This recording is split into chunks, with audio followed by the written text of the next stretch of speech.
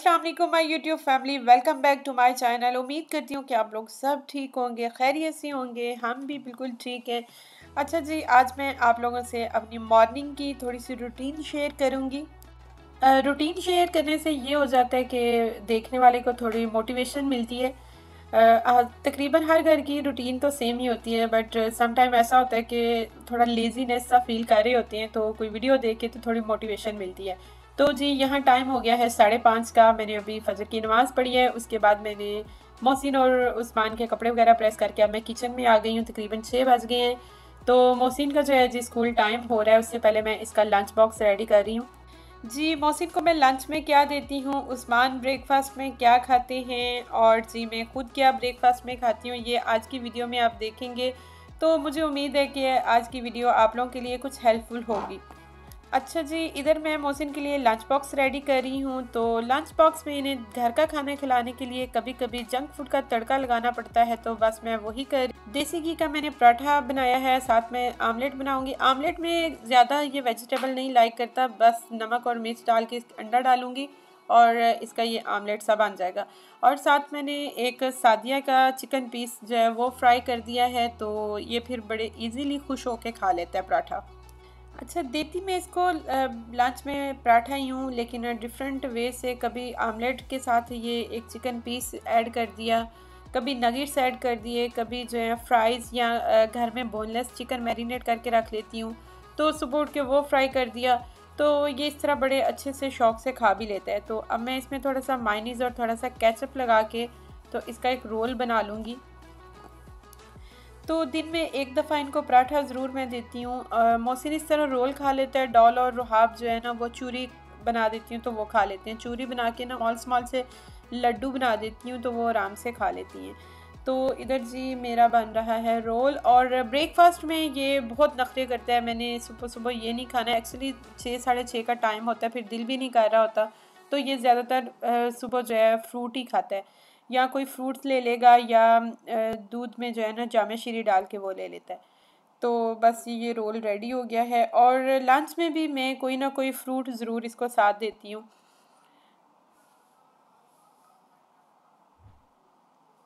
ये देखें जी strawberries berries कुछ भी जो है ना, जो कि कट नहीं करना पड़ता ना।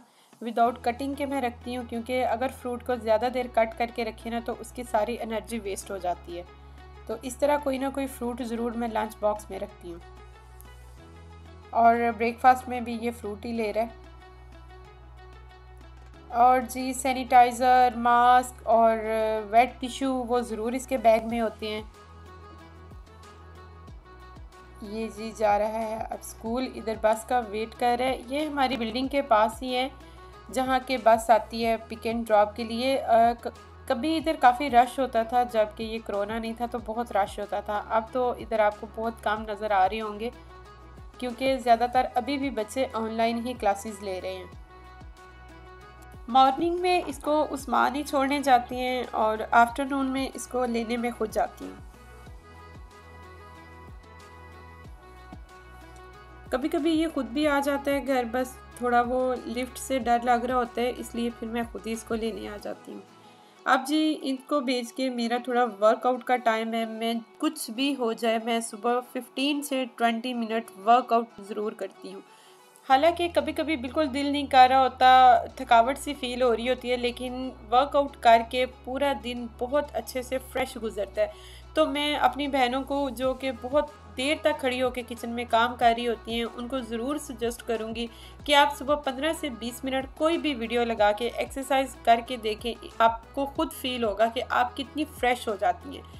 तो यहाँ जी मैं आ गई हूँ किचन में। अब जी उस्मान की बारी है। उन्होंने जाना है ऑफ़िस वो तकरीबन साढ़े सात बजे निकल जाते हैं। तो मैं अभी उनके लिए ब्रेकफास्ट बना रही हूँ।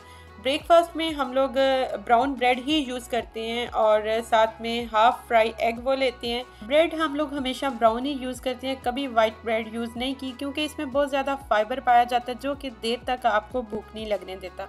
और एग फ्राई करना हो या आमलेट कुछ भी बनाना हो तो वो भी मैं ऑलिव ऑयल में ही बनाती हूँ।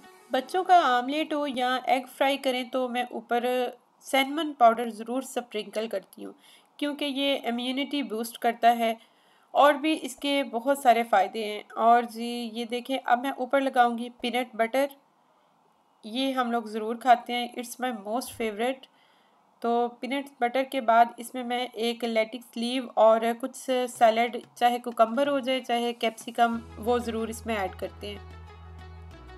ये खाने में भी बहुत टेस्टी लग रहा होता है और वेट लॉस करने में भी आपकी हेल्प करता है।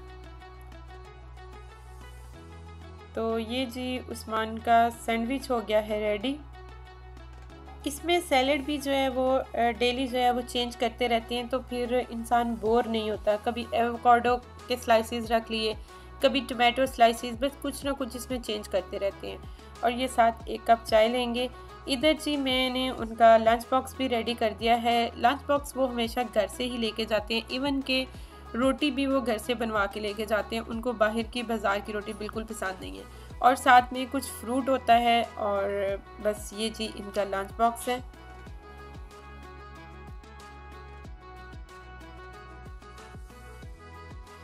बस जी, अब ये भी जा रहे हैं ऑफ़िस और इसके बाद आती है मेरी अपनी बारी क्योंकि डॉल और रोहाब तो भी सोई हुई हैं, डॉल के एग्ज़ाम हो गए हैं फ़ाइनल तो आजकल उसकी क्लासेस नहीं हो रही।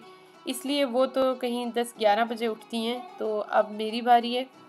मैं पहले उस्मान के साथ ही ब्रेकफास्ट कर लेती थी। जैसा वो सैंडविच खाते हैं, वैसे ही मैं खाती थी। लेकिन आजकल मैं थोड़ा वेट रिड्यूस करने की ट्राई कर रही हूँ। अगर हो गया तो आप लोगों से ज़रूर शेयर करूँगी।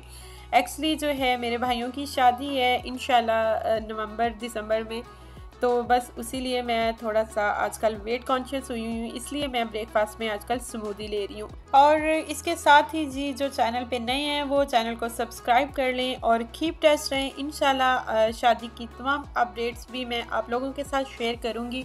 बहुत मज़ा आने वाला है पाकिस्तान में इन तो जी, यहाँ मैं अपने लिए समूदी बना रही हूँ। उसके लिए मैंने वन टेबल स्पून जो है chia seed half glass water में सोख करके 10 से 15 मिनट के लिए रख दिए हैं। इधर मैं जो ओट्स है वो ड्राई रोस्ट कर रही हूँ। ये मैं एक ही दफ़ा करके रख लेती हूँ। तो फिर वन से टू टेबल स्पून जो है वो स्मूदी में ऐड कर लेती हूँ। स्मूदी में कोई भी फ्रूट मैं ऐड कर लेती हूँ, जो भी मेरे पास अवेलेबल हो। ये इधर मैं मैंगो पिल ऑफ़ कर रही हूँ और ये भी मैं पूरा नहीं इसमें ऐड करूँगी। इसके बस वन से टू स्लाइसिस ही ऐड करूँगी।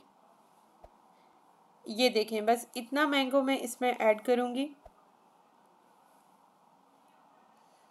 और साथ में शुगर ऐड नहीं करती, क्योंकि मैंगो ऑलरेडी भी मीठा है और साथ में मैं एक डेट ऐड कर लेती हूँ। चिया सीड में बहुत ज़्यादा फाइबर होता है ओट्स में बहुत ज़्यादा फाइबर होता है तो वो बहुत देर तक बेली फिल रखते हैं, भूख नहीं लगने देते। और ये स्मूदी जो है जी वेट लॉस के साथ साथ हेल्दी भी है क्योंकि इसमें डेट जा रही है और डेट आपको पता है कितनी हेल्दी होती है। फ्रूट जो है वो आपको वीकनेस नहीं फील होने देते। ये मैंने एक इलायची, इसमें ग्रीन इलायची डाली है, खुशबू बड़ी अच्छी आती है। पाँच से सात मैंने इसमें पील ऑफ़ करके सोग आलमंड ऐड कर दिए हैं और एक चम्मच मैंने इसमें वन टेबल स्पून जो है मैंने योगर्ट ऐड किया है। और हाफ़ ग्लास वाटर ऐड करके इसको मैं अच्छे से ब्लेंड कर लूँगी। इसके अलावा जी और भी डिफरेंट स्मूदीज़ मैं आप लोगों से ज़रूर शेयर करूँगी। ये देखिए जी मेरी स्मूदी रेडी हो गई है। अब जो चिया सीड्स हमने सो किए थे वो मैं इसमें ऐड कर दूँगी। अब इसको हम अच्छे से मिक्स कर लेंगे। तो जी आज की वीडियो यहाँ तक ही है। डॉल और रुहाब की, इंशाल्लाह मैं आपके साथ रूटीन फिर शेयर करूँगी। उम्मीद करती हूँ जी आज की वीडियो कुछ हेल्पफुल रही होगी। अगर ऐसा है तो मुझे कमेंट बॉक्स में ज़रूर बताइएगा। वीडियो को शेयर और लाइक करिएगा। इन एक और वीडियो में मिलेंगे। दुआओं में याद रखिएगा। अल्लाह हाफिज़।